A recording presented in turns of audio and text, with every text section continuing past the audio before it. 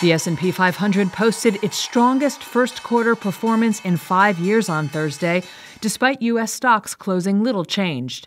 The Dow and S&P both ticked up a tenth of a percent, while the Nasdaq ticked down a tenth.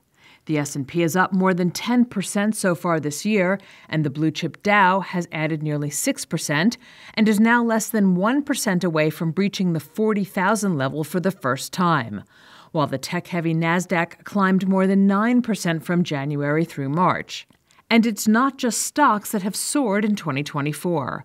Other assets, including gold and Bitcoin, have hit record highs in what Mark Luschini, chief investment strategist at Janney Montgomery Scott, calls an everything rally.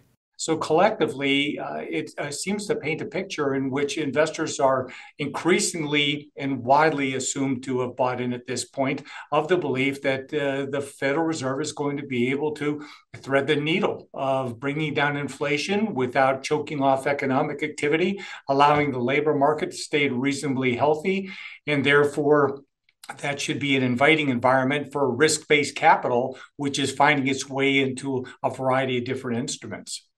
In company news, shares of Walgreens Boots rose more than 3% after its quarterly earnings, in which it recorded an impairment charge on its investment in clinic operator VillageMD.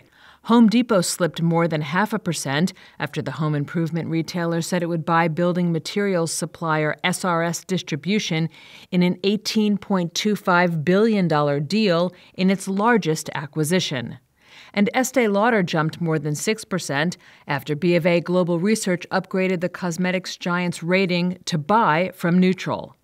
While U.S. equity markets will be closed for the Good Friday holiday, the focus will be on the release of the Personal Consumption Expenditures Price Index, the Federal Reserve's preferred inflation gauge, for clues on the timing and size of rate cuts this year from the central bank.